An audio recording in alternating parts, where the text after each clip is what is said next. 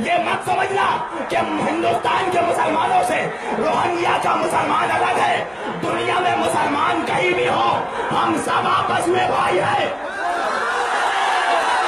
अगर हमारे नौजवान बच्चों को हमने एक दफ़ा इशारा कर दिया और उकसा दिया तो हमारे बच्चे उनसे कई ज़्यादा ताकत रखते हैं। वो अकेला पाके अगर पाँच करोड़ मुसलमान ये अहद कर लें कि हमको एक साल में पाँच गैर मुस्लिमों को इस्लाम पेश करके मुसलमान बनाना है, कोशिश करके, जिद्दोजहद करके, माल देकर, कैसे भी, हिकमत से।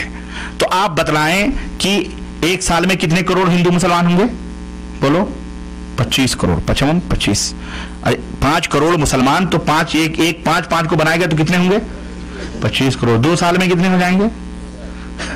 अरे, तीसरे साल तुम्हारी खुद हुकूमत आ जाएगी हमारी तारीख नहीं जानते तुम्हारी मुसलमानों की हिस्ट्री नहीं जानते हम करबला वाले हैं हम हुसैनी मुसलमान हैं हम बहत्तर भी होते हैं तो लाखों का जनाजा निकाल देते हैं कसम उसे पूरा नबीन की हमारे हाथ में भी आने तो क्या हथियार आ सकता है अगर हम चाहे तो हर हथियार आ सकता है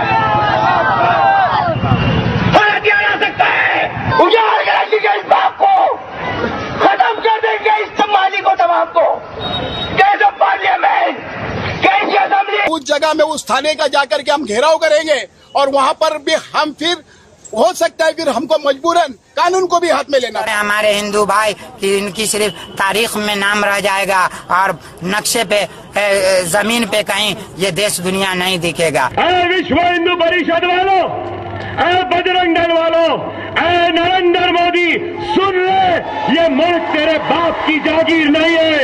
ये बाप की जागीर नहीं है जितनी जितनी तुम्हारी ज़मीन है उतनी है तुम्हारी औकात नहीं है तो सको उन्होंने बिल पास किया है।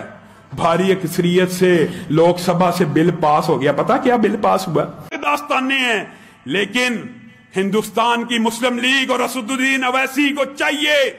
हिंदुस्तान के अंदर पार्टीशन की एक नई तहरीक को चलाया जाए, हिंदुस्तान की धरती से एक नया मुस्लिम वतन निकले यह वक्त की भी ज़रूरत है और हमारे मुसलमान हुक्मरानों को भी चाहिए।